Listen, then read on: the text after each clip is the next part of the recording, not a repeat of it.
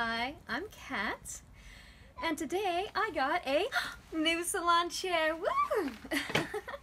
well, new to me anyway. It is a vintage chair. Let me show you. I'm so excited.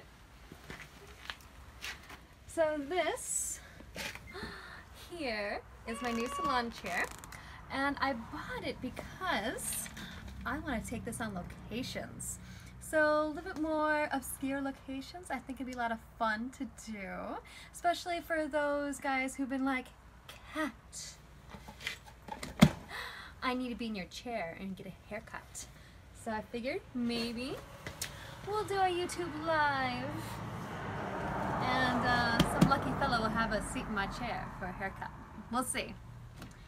But first things first. This chair is green and white, as you see here. Um, part of it is uh, falling apart. Um, the fabric is cracked.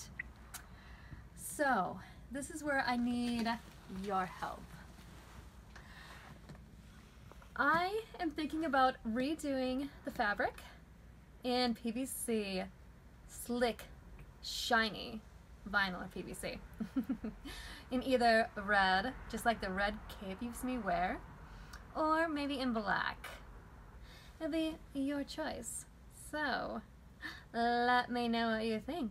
And come summer, this baby will be like new and gorgeous and ready to have its uh, mm, we'll say patrons in it.